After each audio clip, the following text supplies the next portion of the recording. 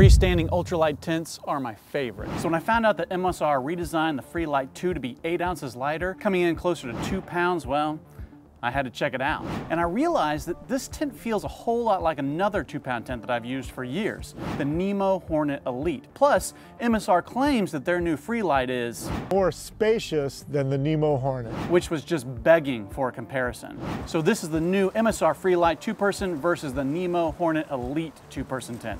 Let's check it out. First of all, let's talk about all the similarities there are here. These are both semi-freestanding tents. They both have two vestibules, two doors, and are for two people. They both weigh close to two pounds. They both have this little cutout at the head to increase ventilation. All in all, these are very similar design. But how do they compare? Well, since MSR claims that it's roomier than the Hornet, let's start there. So the Freelite is slightly larger than the Hornet. If you're into specs, the Freelite has 29 square feet of floor space, whereas the Hornet only has 27 square feet of floor space. This is most noticeable in the Freelite's true rectangular shape. It is 50 inches across the head and 50 inches across the feet, whereas the Hornet is 50 inches across the head, but only 42 inches across the feet. Now, Theoretically, this means that you should be able to fit two 25-inch pads in the Freelite. I don't actually have two 25-inch pads, but I did try to get a huge 30-inch pad in there with one of my 20-inch pads, and the two just couldn't quite fit. Maybe that's just a pitch problem? I'm honestly not sure. So I think the area where you really notice the need for more space in a two-person tent is in the headroom.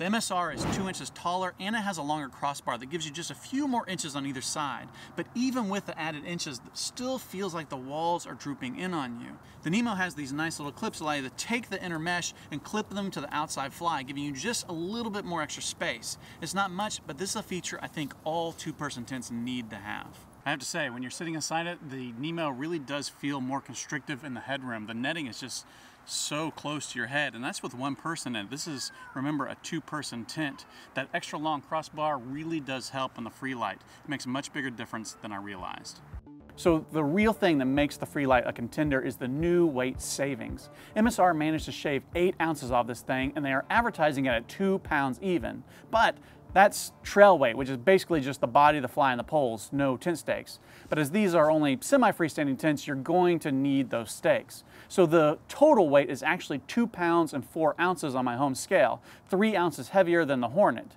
And if you know me, every ounce counts, so this one goes to the Hornet. But you're going to pay for those three ounces because the Nemo Hornet is fairly expensive at $500 US, where the Freelite is almost $100 cheaper at $409 US.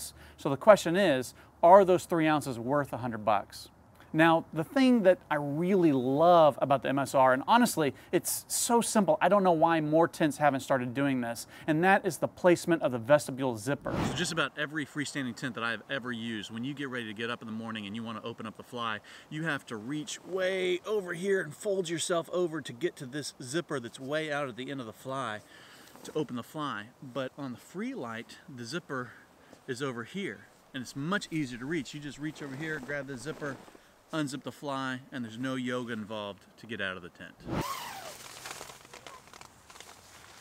One problem with this fly design is even with the rain gutters, anytime you open it after rain, it seems to drip all inside of the tent, which that's not good. The Freelite has double zipper doors that are so much easier to open with one hand compared to the Hornet's rainbow doors that require two hands to open.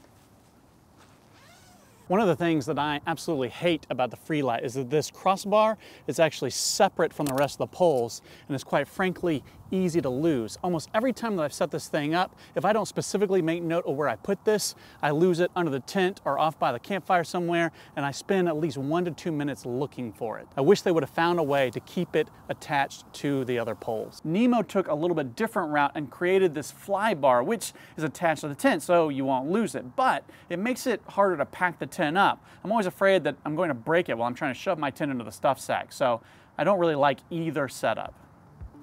On the inside, the MSR has more pockets. It's got two on either side, and it's got two in the ceiling. And the pockets have these small little openings at the bottom to run charging cords. But honestly, I wonder why this is even needed. Odds are you're going to be charging with a battery bank, and it seems like it would be just as convenient, or actually probably even more convenient to just put that in the pocket with the phone. And if you put anything small in this pocket, is it just going to fall out the bottom? On the other hand, the Hornet has two pockets on either side, but there's no charging port, and there's only one pocket up in the ceiling, but it has a light diffuser for your headlamp.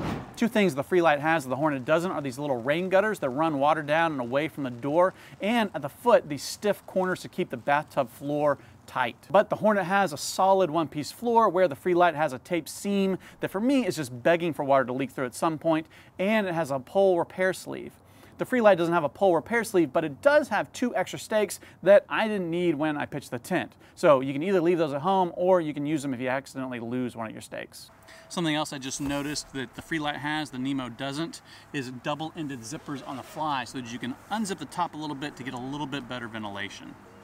One thing I forgot to mention is the Freelite has a 15 denier fly and floor, whereas the Hornet has a 7 denier fly and a 10 denier floor, which is probably where they saved those extra ounces. So there you have it, the MSR Freelite two-person tent new for 2022 versus the Nemo Hornet Elite two-person tent. They're actually updating the Nemo Hornet Elite this year, but I haven't managed to get my hands on one yet. But the best I can tell, the updates are a new fabric that Nemo is introducing, and they're changing the color a little bit to be gray, which I don't know if I like that or not. But as far as I can tell, everything else in the new Nemo is going to be exactly like the tent I showed in this video.